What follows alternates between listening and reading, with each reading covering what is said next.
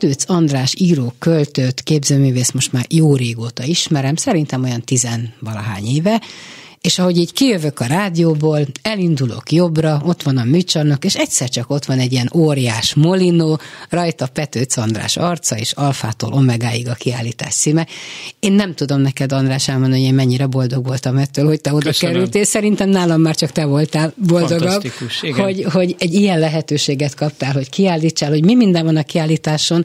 Erről hosszasan beszélhetnénk, de azt gondolom, hogy ha valaki nem látja, akkor nem nagyon van értelme erről beszélni, mert be betűk vannak, szavak vannak. Egy dolog nagyon tetszik, most tudom, hogy az ott van, amikor egy, egy élő nőre lefestetted fehérre, és verseket írtál rá. Azt hiszem ez most nincs ott, ugye? Ez csak az emlékeimben él? Hát az én kis életművemben ez egy ilyen kis botránykő, ez kétségtelen. Hogy beletaláltam. Igen, egyből, és érdekes, hogy ez a body artnak nevezett műfaj, ez ennyire érdekes még a mai napig. Ezt annak idején 1981-ben produkáltam, amire te gondolsz, ami nagy botrányt kavart. 1981-ben ugye nagyon zártan éltünk a Kádár korszaknak a nagyon zárt világában, és akkor egy fiatalember kikerült Nyugat-Európába, és akkor az a fiatalember ott látott mindenféle olyan magazint, amelyet itthon nem látott, és, és akkor azzal játszottam el, hogy erre a magazinban levő fotóra ráaplikáltam szöveget, és ez olyan jól sikerült, hogy mindenki azt hitte, hogy ez egy élőtest, de nem volt élőtest, test, ezt most így leleplezem, hanem ez egy fotomontás volt tulajdonképpen. Nagyon korai munka volt, és annak idején ez valamiképpen egyfajta talán nem túlzás, egyfajta lázadás volt az akkori rendszer ellen, az akkori rendszer ö, álságossága, prűtsége, nem tudom, ö, mindenféle dolog ellen. És ö, ezt úgy vették is a lapot, tehát ennek, ennek lett egy komoly visszhangja. Neked van egy gyönyörű szép lányod, láttam a fényképét, közösen veletek. Ha megkérdezi tőled, hogy mi bajod volt neked a Kádár rendszerben, ő akkor még talán nem is élt, vagy nagyon, nem, nagyon persze, igen. Nem. Ö, akkor mit tudsz neki mondani? Mert remek szamizdatokat írtál, gyártottál, jártad a világot, írtál, mi bajod volt neked, tulajdonképpen, eh, tulajdonképpen a 80-as években voltam a legboldogabb, ez kétségtelen. Tehát fantasztikus, eh, fantasztikus dolog volt. Eh, én a pályát 1980-ban kezdtem, akkor voltam 20 éves, tehát akkor kezdtem azt, hogy irodalom. Nagyon korán belecsöppentem a ellenzéki körökbe, rátaláltam, emlékszem a óra közben a repülő egyetemre, ami annak idején Jávor Istvánnak a lakása volt, meg a legkülönbözőbb dolgokra fölfedeztem a rajkféle szamizdatbutikot, nagyon, nagyon jó volt ebben a közegben működni tulajdonképpen ma már nagyon nehezen megfogalmazható, hogy mi bajom volt a Kádár rendszerben. A bajom az volt, hogy zártan éltünk, és hogy nem volt egyfajta szabadság lehetőség. Itt például maga az utazás kérdése, és egyáltalán az a nagy különbség, amely, amely a ők Európában a többféle társadalmi rendszerek gazdasági helyzetéből fakadt. Na most igazából az ember azt látja, hogy lassan nem érjük el a nyugatot, egyáltalán nem tudjuk elérni, hanem ugyanúgy szegények vagyunk, hogyha kimegyünk Nyugat-Európába, mint annak idején voltunk. Szerettem volna elbúcsúzni Beke Lászlótól, de Váradi Juli megtette ezt helyettem, és olyan sokan mentek el a héten, hogy nem is lenne elég ez a műsoridő. Viszont neked hosszú utazásaid voltak vele. Tehát kicsit behúzlak, hogy úgy emlékezzünk valakire, hogy rólad is szól, meg róla is szól. Hát én nagyon fiatalon belecsöppentem nem csak ebbe a ellenzéki értelmiségi körbe, hanem a Párizsi Magyar Műhely körébe is. Tehát valóban 20-21 éves koromban készítettem már képverseket, és ezeket a képverseket eljuttattam ki Párizsba az ottani szerkesztőknek, akik ezt nagyon pozitívan fogadták, és hát én egy ilyen fiatal ember voltam, akit ők valamiért úgy, úgy érezték, hogy akkor én hozzájuk tartozom.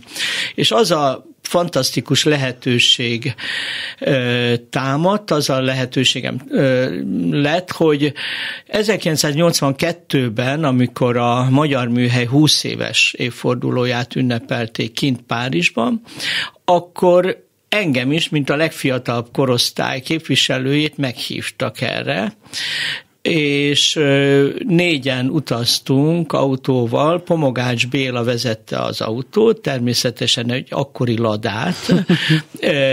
és Hány napig mentet? Három napig, három napig mentünk, mellette ült Beke László elől az anyósülésen, mögötte Erdély Miklós ült, aki akit tulajdonképpen akkor ismertem meg, és aki, aki egy fantasztikus élmény volt aztán a végig, és mai napig a mesteremnek tekintem, és Erdély Miklós mellett ültem én, mint egy kisfiú. De nem érezted azt, hogy uramisten, mi becsöppentem, hogy ezek abszolút, az emberek elvisznek velük, megyek? Nagyon fantasztikus jó érzés volt. Az első éjszakát Bújdosó Alpárnál töltöttük Bécs mellett, Bécsben, tulajdonképpen az ő ö, ö, kis ház sorházában. Nem volt nagyon sok hálószoba, és a Bujdosó Alpár felesége, a Bujdosó Zsuzsa kijelölt nekünk egy szobát, közös szobát Beke Lászlóval, és ott, ott töltöttük az éjszakát, tehát tulajdonképpen így Bekével is, Erdélyel is, Pomogáccsal is közeli kapcsolatban voltam. Babarcival nem volt kapcsolatod? Nem igazán, nem, nem. Az, az valahogy... Valahogy kiesett. Igen, igen kiesett. kiesett. Nagy Bálintot szintén jól ismertem. Ja, mert ő is elment, Nagy igen, Bálint Nagy a Bálintot volt jó, szintén jól ismertem. Ő szintén ebbe a körbe nagyon határozottan jelen volt. Ugye tudni kell, hogy Erdély Miklósnak a Pasaréten, a Virágárok utca 6 per B be ott volt a háza, és ott egy nagy kert volt, és azért ott rendszeresen mindenféle partik voltak, kerti partik és összejövetelek és a többi, amikre én meghívást kaptam, mint fiatal költő, és ott például Nagy Bálintal sokszor találkoztam, mindig egy gyerek volt a nyakába egyébként a Bálintnak. A stafétabotot nem vetted át, tehát kiélvezted ezeknek a nagyságoknak a társaságát, ahol parti volt, ott voltál, szívtad magadba a tudományt, de most már nem vagy az a kis srác Petőc András, át kéne venni ezt a, ezt a közösségépítő szerepet. Nem gondoltál még rá? Egyrészt a közösségépítő szerepet én igenis átvettem. Átvetted? Igen, tehát gyakorlatilag ugye már a 80-as évek elején létrehoztam a Jelenlét című lapot, ami Borzasztó érdekes kreálmány volt, mert nem volt nekünk lapengedélyünk, de nem is voltunk szamizdat, hanem a bölcsészkar vezetése lehetővé tette, hogy minden egyes lapszám egyedi engedéllyel megjelenhetett. Úgy is tekintettek ránk például a rajféle butikban, mint hogyha egy félig meddig szamizdat kiadvány lennénk. A, nekem ez az élmény akkor tudatosult bennem, amikor amikor Krassó György 1982-ben, tehát én voltam 22 éves, egyszer csak megkeresett a bölcsiszkaron, a szószoros értelmében, mert ugye milyen szakra jártam, hát büfé szakra jártam, tehát gyakorlatilag a büfénél lógtam, és megjelent Krassó György, és azt kérdezte, hogy én szerkeztem-e a jelenlétet, és hogy mikor jelenik meg a következő szám, mert nagyon várja. Na most én természetesen nem tudtam ki a Krassó György, csak láttam egy őszhajú, érdekes ö, ö, figurát, akinek egyébként fülhallgató volt a fülében, ö, és akiről aztán később megtudtam, hogy tulajdonképpen a budapesti ellenzék egyik prominens személye. Amikor a közösségépítésre gondoltam, gondoltam a partikra is, hogy, hogy a te otthonod, bár ez most nem nagyon divat, azt látom a, a mai középgenerációs értelmiségnél, hogy gyertek, ugorjatok föl, eszünk egy gulyást, és megváltjuk a világot. Hogy vajon miért maradnak ezek el? E, hogy miért maradnak el, nagyon jó kérdés. Tulajdonképpen vannak rá kísérletek, például Kocsis Andrásnál, de Hát a helyzet az, hogy én ezt például anyagilag, az én egzisztenciális helyzetemben ezt nem tudom megengedni. Zsíros kenyér hagymával nem Zsíros kenyér mint hagymával. A, a, a, kocsisborral, ha már kocsist emlegetted. Lehetséges. Nem olyan nagy a lakásom, hogy ott nagy partikat tudnék szervezni.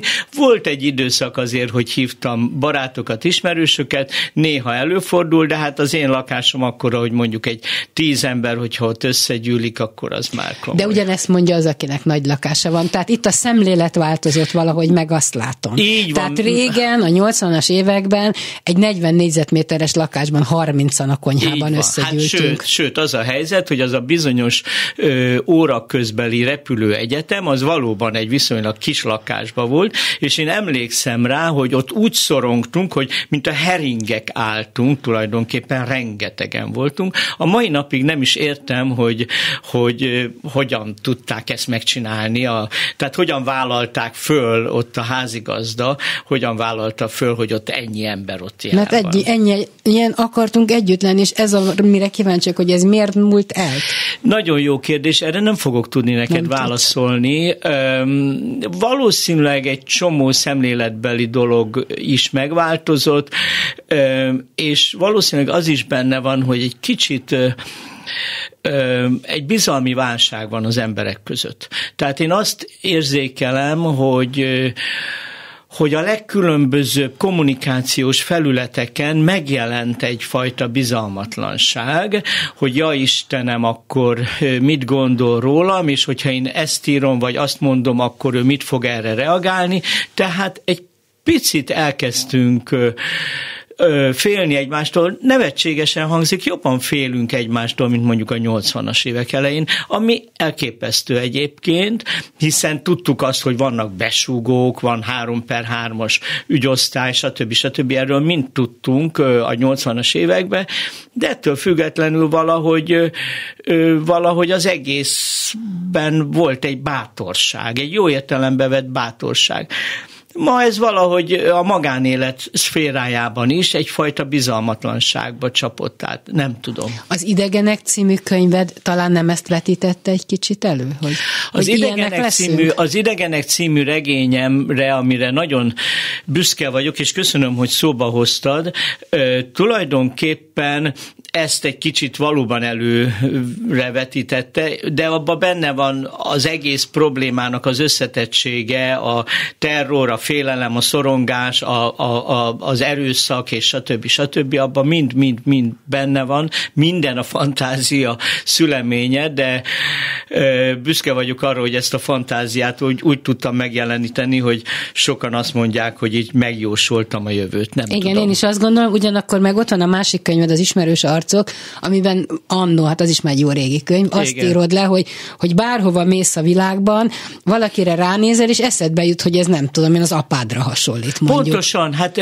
ugyanis valahol nagyon egyformák vagyunk. Igen. Elképesztően egyformák tudunk lenni, tehát XY eltávozik egy régi barát, mondjuk ö, sokan meghalnak mostában, azért mondom ezt a példát, és akkor egyszer csak szembe jön ugyanaz az arc az utcán. Pontosan. Vagy elmegyek mondjuk külföldre, egy másik országba, egy másik városba, és akkor hirtelen azt mondom, hogy úristen, ki jön itt velem szembe nagyon egyformák tudunk lenni, ez, ez nagyon érdekes. Te megtaláltad már a saját hasonmásodat, jött veled szembe? Volt olyan eset, hogy valaki rám talált, köszönt, és akkor azt mondja, ja, na, bocs, bocs, te nem az vagy. igen, igen. Két versedet én ki is printeltem, mert szeretem a két arcot, ha már az arcról Aha. beszélünk, és az utolsó álom a címe. Igen. Mind a kettő az édesanyádról szól. Mind a kettő nagyon szomorú vers, és mind a kettő az utóbbi időben született, így van. Az utóbbi idő? Azt nem tudtam, hogy ez a, az hát utóbbi. a anyukám az 2020. október 22-én ment el, igen. Az egy nagyon nehéz dolog, amikor hát most banalitásokat mondok, amikor egy, egy, egy közeli hozzátartozóhoz úgy kell bemenned a kórházba, hogy tudod, hogy el kell tőle búcsúzni. Tehát ez egy, ez egy nagyon, nagyon, nagyon borzasztóan nehéz pillanat volt, és én ezt többféle módon versben is, meg novellában is próbáltam megfogalmazni. Ha odaadom a verset, el tudod mondani? Persze. A hát. fejből nem tudod mondani. Nem. Csodálkoztam volna, mert nem igen. igen, túl sok ahhoz, de azért, hogy a hallgatók is meghallják, hogy milyen gyönyörű vers ez. Jó, köszönöm szépen. Olvassam föl, Kérlek azt szépen. kéred? Jó. Két arc. Anyám alszik, holnap meghal.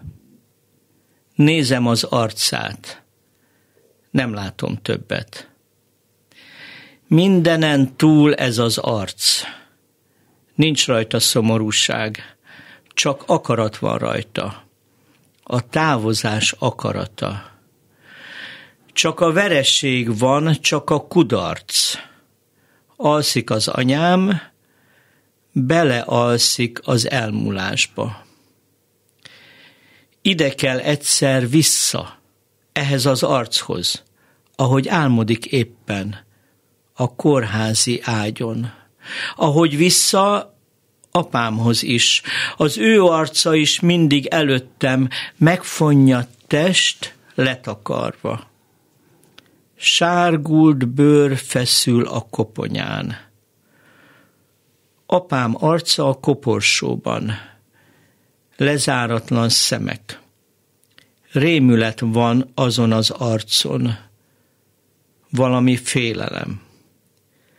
Anyám és apám két arc távozóban.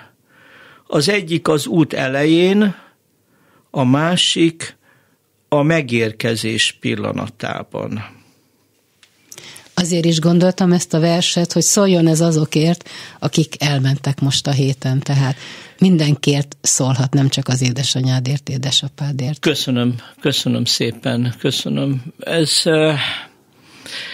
azt hiszem, hogy ez, ez egy megoldhatatlan dolog. Nem tudunk, nem tudunk ezzel szembesülni. Tehát azzal a, sokan azt mondják, ugye, hogy a halál az élet része. Nem tudunk, nem tudjuk ezt igazából feldolgozni, ezt, hogy mit jelent ez a dolog. Én el, arra jöttem rá, amikor láttam először apámat, ő már régen, 2007-ben, és most, amikor anyámat láttam, egyszerre elképesztő, és egyszerre nagyon idegen az egész. Borzasztó, borzasztó nehéz. De hát mindannyian keresztül esünk ezen. Hoztál egy könyvet, és köszönöm szépen, Ancika a címe. Ancika az édesanyád volt? Igen, Ancikának hívtam anyukámat. Ez még korábban jelent meg az életében, és ez egy fikció, csak ö, ö, valamiképpen vannak benne valóságos elemek. Annyira valóságos elemek az Ancika című kisregény, hogy, hogy nem mertem a anyukámnak még élt megmutatni és, és akkor, tehát anyukám, akkor, hát anyukám akkor elment 92. évében volt, amikor megjelent ez a könyv, akkor 89 vagy 90 éves volt, és akkor egyszer csak azt mondta, hogy ö, telefonba, hogy megvettem ám a könyvedet, ami rólam szól, mondta, úristen, mondom. Mert hogy vannak benne olyan elemek, amikre ráismerheted, de rengeteg olyan elem, ami teljesen kitalált. Borzasztó nehéz ö, ö, elmondani ismerősnek, barátnak, aki valamiképpen, vagy egy szülőnek, aki valamiképpen benne van egy történetben, de még sincs benne, hogy mit jelent ez a fura játék, hogy egyszerre megszemélyesítek valakit, és egyszerre kitalálok hozzá valamit. De egyébként ezt nagyon ügyesen csinálod, szoktam nézni a, a Youtube-on, amikor felolvasol otthon kényelmesen, és vannak ezek az ancika történetek is, és külön sármi a felolvasásodnak, hogy van egy speciális hangod, egy, egy, van benne egy kis humor, egy kis egy kis pikírtség, tehát egy, egy egészen sajátos Köszönöm. olvasási stílusod van, ami úgy odavonza a fület meg a tekintetet. Valamelyik felmenőm Pozsony környék, mert a családom Pozsony környéki család, apai ágon, ott az egyik felmenőm, jó régi felmenőm színész volt. És azzal szoktam magamnak hát kvázi kedveskedni, hogy ezt a színész vénát, ezt egy kicsit örököltem, de hát ez nem tudom. Hát még lehet, hogy egyszer kipróbálhatod ezt is, mert azért ez is egy, egy ügyes Szeretek ötlet volt. felolvasni, így van. Szeretsz, meg, megelevenedik a, a történeted. Igen. Hogy folytatódik Petőc András útja, élete, munkássága? A folytatás az borzasztóan érdekes, hogy sose tudható előre. Tehát én most hogy visszatérjek a kiállításra, például az, hogy a műcsarnokban van ez a kis kiállítás, nem is kicsi, hanem elég nagy. nagy sok szobás, Igen. sok termes.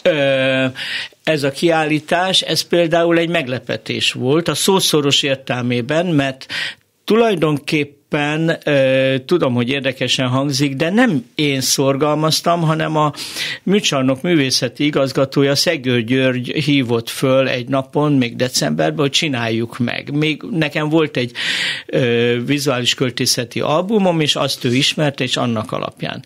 Na most és ennek nagyon örülök természetesen. A folytatás, hogy hogyan lesz, mindig meglepetések halmaza, Egyébként most megjelenik egy kis novellás kötet, amiben például azok a történetek is benne lesznek, amelyek kapcsolódnak akár valamiképpen anyukámhoz is, vagy hát megjelenik benne egy idős asszony. A címe a novellás kötetnek az, hogy az öregasszony, aki valamikor kislány volt. Ez a novellás kötetnek a címe, ami hamarosan megjelenik. Ez elképzelhető, hogy most kezded az édesanyádat, akár a kettőtök kapcsolatát is kiírni magadból, végig gondolni, feldolgozni? Borzasztó nehéz dolog az, hogy mit jelent egy gyerek-szülő kapcsolat. Tehát én ö, nem is annyira anyukám halála kapcsán, hanem édesapám halála kapcsán jöttem erre rá, hogy ö, hát ides tova 15 éve, hogy ő elment, apukám, és a mai napig folyamatosan az adósságot próbálom törleszteni. Tehát gyakorlatilag mindig adós vagyok, és adós maradok. De miért? Mert... Idővel, vagy mivel? Gyakorlatilag, gyakorlatilag arra jöttem rá a halála után, hogy milyen sokat kaptam tőle. És anyukámmal is ez a helyzet, hogy tudom, hogy bután hangzik, de, de gyakorlatilag most jövök rá, hogy milyen sokat kaptam tőle, pedig hát én se vagyok már olyan nagyon fiatal vagy gyerek. De, de e, például az, hogy e, anyukám egy fantasztikus személy volt, és ő volt az első, történész volt anyukám, ő volt az első, aki a varsói gettólázadásról, a második világháborús varsói gettólázadásról először írt a 80-as években egy könyvet Magyarországon. Meg is jelent? Természetesen. Neked meg is van? Persze. Lehet kapni? Hát Na, nagyon antik, kíváncsi lennék. Mi a címe? Az a címe, hogy a, és a Varsói Gettó felkelt, ez a címe.